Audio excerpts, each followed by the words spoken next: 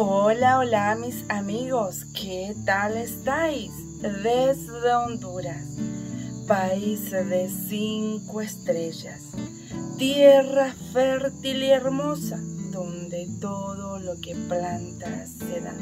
Quien les habla, su amiga Carla, y en esta ocasión quiero que me acompañen a realizar un reto que hace mucho, mucho tiempo debería de haber cumplido, pero por una u otra razón no lo había hecho, aunque la intención sí estaba. Se preguntarán ustedes, pero ¿por qué tienes zapatos y cactus, Carlita, por ahí? Pues es que de eso se trata el reto, amigos. Nuestra bellísima y encantadora amiga Chilita del canal Chelita y su jardín, es la creadora de un hermoso reto que trata de plantar en una zapatilla o en un zapato.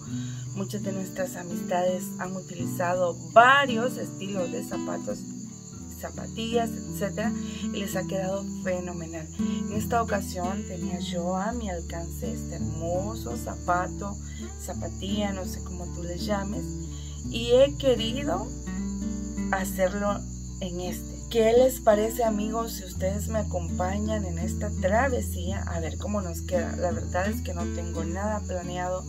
He solicitado algunas, alguna ayuda externa de mis amistades, especialmente de un grupo de amigas hondureñas que tenemos un grupo de WhatsApp al cual me invitaron y me dieron magníficas ideas que voy a estar implementando. A ver cómo nos queda esto amigos.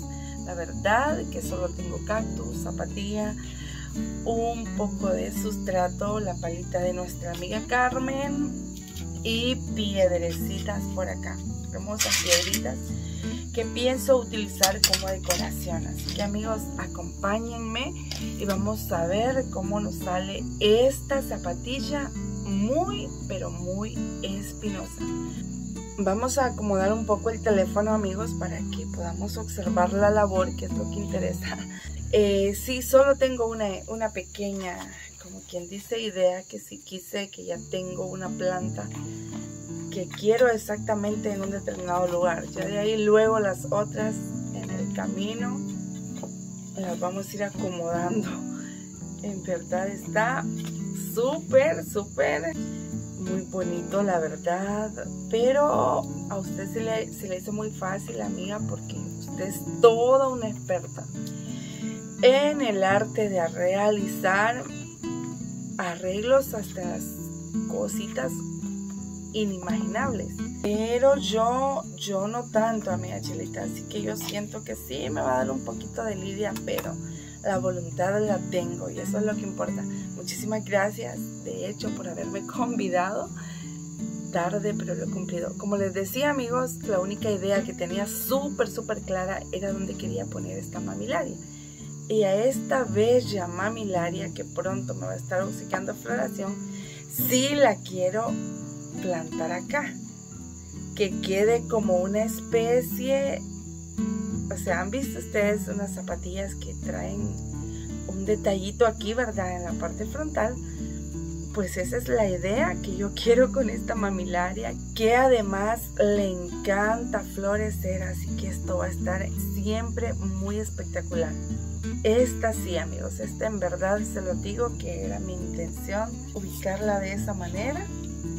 Ya de ahí las otras, la verdad que no vamos a ir viendo cómo, cómo nos va dando la idea. Eh, a mí me encanta, mm, fíjense amigos que los cactus son unas plantas tan pero tan agradecidas que ellos de acuerdo al, al espacio que tienen ellos se adecuan.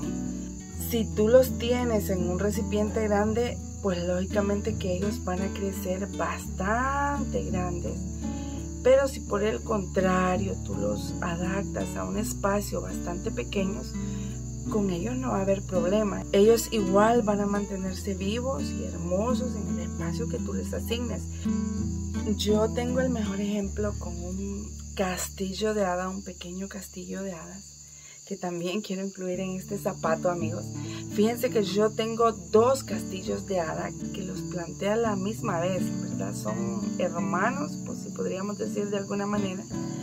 Porque en la misma ocasión los planté, lo único que aún no lo planté en una maceta de un tamaño regular, podríamos decirlo, y en otro lo planté en una maceta, pero muy, muy minúscula, con la misma edad y la diferencia, o sea, nadie diría que mis dos castillos de hada son hermanos, porque uno está grandote, frondoso, y el otro se mantiene muy compacto, llenita la macetita, pero de un tamaño pequeño y súper, súper compacto.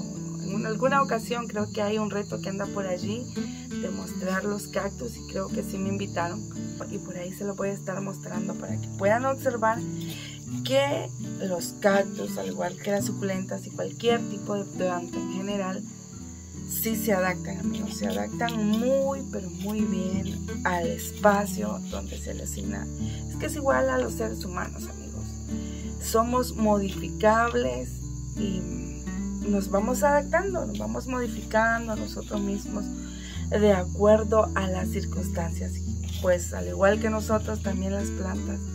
Es una cuestión de supervivencia, amigos. ¿Cómo lo ven, amigos? ¿Cómo lo van observando? Yo, como les dije, no tenía una idea. La idea no estaba en mi mente. Esto era lo único que tenía planeado, la verdad. Ya luego lo otro, lo otro sí que ha venido por añadidura, amigos. Aquí en el momento, y es lo que me encanta de trasplantar, de hacer estos retos, sí me gusta, amigos. Lo que pasa es que a veces el tiempo es bastante escaso y por eso no podemos cumplir con premura, con la premura que nosotros deseáramos. Pero a mí particularmente me encanta echar a, a volar nuestra imaginación, diría Lady. Y es verdad, cuando nuestras amigas, nuestros amigos nos retan, pues es un reto, por eso se llama reto. Y echamos a volar nuestra imaginación, a ver cómo le hacemos qué irá bien en, esta, en este reto que presentamos y, y cosas así, es bonito. Ya luego que estamos pensando a quién nominamos, así que es todo, es toda una cosa hermosa. Quiero poner esto, fíjense, creo que me van a sobrar. Me traje un esquejito de, de Euphorbia trigona y creo que no lo voy a utilizar, este esquejito de Euphorbia trigona, pero no crean que lo vamos a botar, nada por el nada que ver, ¿eh? lo vamos a plantar en otra parte. Pero por supuesto que no lo vamos a desperdiciar, es un hermoso esquejito. Que de hecho esa forbia trigona yo la traje de donde mi abuela, mi abuela tiene pero un montón. Ahora próximamente estaremos yendo al cumpleaños de ella.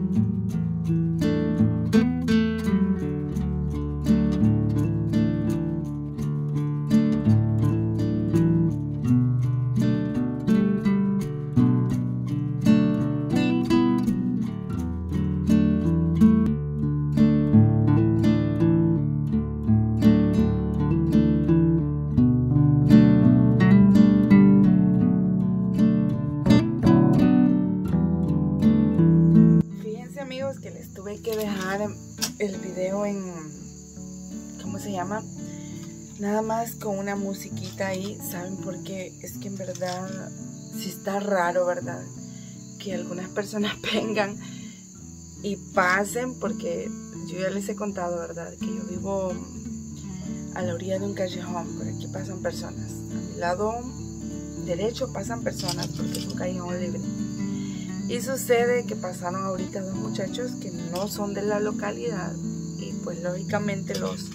¿Cómo son los animales, amigos? Es que en verdad lo que son las plantas, los animales, nos sorprenden mucho y como que conocen, y saben qué personas son de la localidad, qué personas no son de aquí mismo y como ellos, como que ellos dicen, ah no, este no es de aquí, hay que estar alerta, hay que avisar a nuestros amos que hay personas extrañas por acá. Y entonces los perritos se pusieron a ladrar. Pero es que sí, yo comprendo los perritos. Y aquí la única nocturna soy yo. Ya van a dar las 11 y resulta que yo, estoy, que yo estoy acá. La verdad a veces pienso que me paso de valiente. Son personas que no conozco y yo aquí con mi teléfono que no vale dos lempiras, vale varios lempiras de hecho. Y qué les digo, el teléfono, la ubicación que lo tengo está al alcance de meter la mano. Miren mi mano a mi distancia y no lo logro tocar. La verdad es que si alguien me lo quisiera robar, creo que me robaría, pero siempre estamos con Dios. No estoy sola, siempre estoy con Dios, siempre me acompaña en mis trasplantes nocturnos y pues no, me saludaron a las 11 de la noche. Me dijeron, todavía está levantada. Y les dije yo, pues sí. Ay, amigos, cada cosa que hacemos, ¿verdad? La verdad que casi no me no acostumbra. Cuando yo hago los cuando yo hago los trasplantes nocturnos no me, no me acostumbra a suceder esto. Casi todas las personas están bien dormiditas y soy yo la única que estoy de, de vampiresca o de, de brujita, no, no me gusta eso de brujita. Ni de vampiresca tampoco. De nocturna, podríamos decir, de ave de la medianoche. Solo soy yo la que me llevo en estos afanes, porque es el momento que me queda tiempo y es el momento en que me gusta, en verdad es que me gusta. Creo que si me lo propondría, lograr hacer minutos en el, en el día, y lo pudiera hacer, pero me gusta la tranquilidad de la noche. Yo ya se los he dicho, pero la verdad que a veces también regaño a la niña que tengo en mi interior y me digo, oye Carla, ¿qué son esas cosas de estar haciendo eso a esta hora, exponiéndote? En verdad exponiéndome, amigos. Ustedes saben cómo son los tiempos. Pero lo más importante, amigos, es que ya está quedando ya está quedando y me está gustando mucho lo que mis ojos están viendo. Ya, señor perro, ya se fueron las personas. Por favor, silencio, por favor. Ya estuvo, ya se fue todo el mundo. ¿Dónde estamos nosotros? Como que si pudiesen razonar, ¿verdad, amigos? La verdad es que a ellos les encanta ladrar y hasta la Walling. Walling es mi cachorra, no sé si ustedes saben hasta la Wallen se les había unido, ¿eh? hasta ella que es perrita de, casa, más dócil que siempre está dentro, pero ah, dijo, aquí aprovecho también y yo quiero, quiero mostrar mis dotes. Y bueno amigos, con este reguero por testigo, ustedes saben que no hago reguero, entonces no es mi video. Si no sale un gallo cantando y un perro ladrando, tampoco es mi video. Me ha gustado cómo ha quedado esto, se los digo. Les voy a contar otra cosa, amigos. Aquí acompañada del sonido de los perros, ahí me disculpan. Siempre a veces nosotros nos, nos apoyamos en Pinterest. No sé si a ustedes les pasa cuando queremos buscar una idea, vamos y nos damos una pasadita por allá. Y la verdad es que zapatillas o zapatos repletos de cactus. Yo yo particularmente no encontré ninguno. Mi amiga Doris me mostró uno con un cactus, pero así como por decirlo repleto, no, nada que ver amigos. Así que yo me siento más que satisfecha, orgullosa del trabajo logrado. Espero que a ustedes también les parezca igual. Fíjense amigos que alguien me sugería que también una, la amiga Wendy de hecho fue la que me sugirió que también podría ser una zapatilla, igual guarda silencio niña, una zapatilla con huernias, orbeas y cosas así y me pareció genial. Creo que, bueno, ya para qué sirve, para qué queda la otra zapatilla, ¿no? Entonces hay que darle otra utilidad, pero eso lo vamos a estar haciendo en privado. Me ha gustado, de verdad, se los digo amigos, me ha encantado cómo ha quedado esto. Espero que a vosotros también les guste. Voy a buscar alguna superficie plana para mantenerlo así. pero de que lo realizamos, lo realizamos, amiga Chelita. Un poco lleno de inconveniencias, amigos, en verdad se los digo, bastantes inconveniencias tuve para realizar este video, pero de que lo completamos, lo completamos. Muchísimas gracias, amiga Chelita, por haber creado tan hermoso reto y haber sido usted la que me nominó. Disculpa por la tardanza. Vamos a paso de tortuga cumpliendo con cada uno de los retos que muy cordialmente ha sido invitada, pero en algún momento yo los cumplo. En estos momentos en estos momentos están apareciendo en su pantalla unos hermosísimos canales a los cuales estoy invitando a que cumplan este reto. Espero se unan amigas, amigos, porque en verdad se van a divertir. Yo no tenía un zapato en mi jardín, ya día lo quería y ahora lo tengo y apuesto que ustedes por allí encontrarán algo que les va a servir para cumplir con este bellísimo, hermosísimo reto.